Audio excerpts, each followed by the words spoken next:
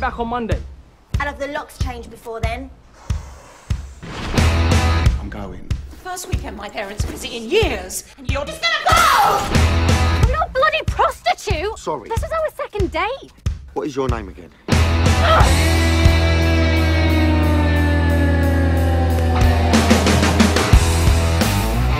You should have seen him in his glory days. We're gonna bring you back from the brink. No. Shut up. So wasn't a weird little village like Moodley that you can't find in London? What do you mean weird? Just a dead end in the middle of the woods. Please tell me you took a wrong turn. Told you the place was a dead end. We're gonna find a pub. We're gonna drink till we pass out. Women love me. Really?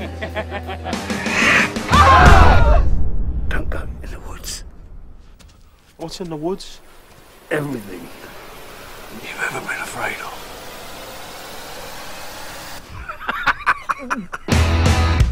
There's something else.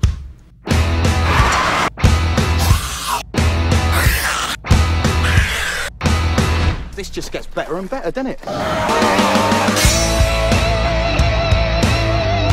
This is an army of pissed off, man-hating, feminists, cannibals. I really like the one with the axe. She's married. What do we do now? We do what everyone else does when they're facing their own mortality. Run. We're not just dealing with a few insane women anymore. In case you've forgotten, the reason we brought Vince out here was to try and convince him that all women are not out to get him. Yeah, thanks for that, lads.